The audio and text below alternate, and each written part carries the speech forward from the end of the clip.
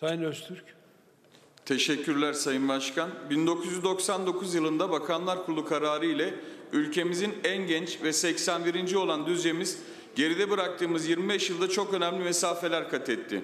Sanayiden eğitime, turizmden ulaşıma kadar hükümetlerimiz döneminde yapılan yatırımlar ile her yıl büyümeye devam ederken jeopolitik konumu ve ulaşım imkanları sayesinde doğal güzellikleri, kültürel mirası gelen misafirlerimiz için göz doldurmaya devam ediyor.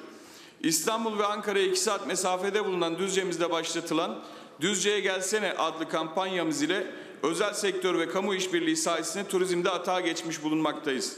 Düzce'ye gelsene.com uzantısıyla kurulan internet sitesi Düzce'mizin tüm güzelliklerine dijital erişim imkanı sağlarken oluşturulan rotalar ile kapsamlı bir kent hizmetini sunmaktadır.